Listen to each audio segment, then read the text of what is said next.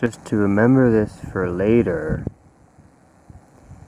this crew right here, they just dropped, looked like they're one of their ropes all the way down there.